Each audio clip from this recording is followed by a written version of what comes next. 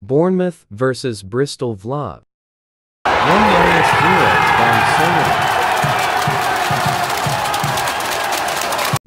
program. This guy in a dress.